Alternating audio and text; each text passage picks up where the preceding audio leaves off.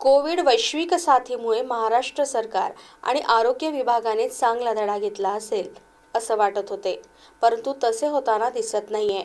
राज्यभरातील आरोग्य विभागाची अनेक पदे रिक्त आहेत असा संताप विधिमंडळ लोकलेखा समितीचे अध्यक्ष आमदार सुधीर मुनगंटीवार यांनी व्यक्त केला.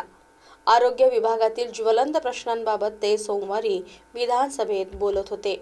आरोग्य विभागातील अनेक पदे आजही रिक्त आहेत. या संदर्भात आपण शासनाला छत्तीस पत्र पाठविली. चंद्रपूर जिल्ह्यातील शासकीय वैद्यकीय महाविद्यालयातील पदे सोयी सुविधांबाबत सातत्याने शासनाकडे पाठपुरावा करीत आहे. परंतु शासकीय यंत्रणा स्वतः झोपेची गोळी घेऊन काम करीत आहे. चंद्रपूरसह राज्यभरातील शासकीय रुग्णालयांमध्ये औषधांचा तुटवडा आहे. रुग्णवाहिकेत रुग्ण पडून राहतात. त्यांना ॲडमिट करून घेण्यात येत नाही असा तीव्र संतापही त्यांनी व्यक्त केला. अध्यक्ष महाराज खर तर या कोविड वैश्विक महामारीमध्ये अपेक्षा ही होती की वैद्यकीय शिक्षण विभाग असेल आरोग्य विभाग असेल निधीची कमतरता पडणार नाही. अध्यक्ष महाराज मंत्री महोदयांच्या मी हे लक्षात आणून देतो की पदांची भरती तर नाहीच नाही.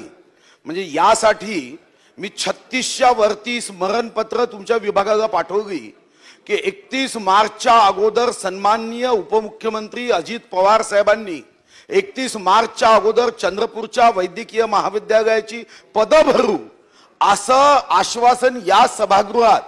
जेव्हा आपण पुरवणी मागण्यांच्या विनियोजन बिगावर मी स- सुधारणा दिल्या तेव्हा हे आश्वासन दिलं. ठीक आहे?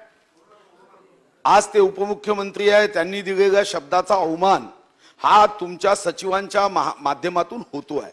जेव्हा हिशोब व्हायचा तेव्हा होईल. पण आज तुमच्या विभागामध्ये यमराजा यमराजाचे एजंट मधून काम करणारे जे लोक आहेत हे यमराजाचे एजंट झाले आहेत. मृत्यू होत आहेत. औषधी दिल्या जात नाही. आणि मी तुमच्याच विभागाचं उत्तर दिलं. तुम्ही इकडे एक उत्तर देता.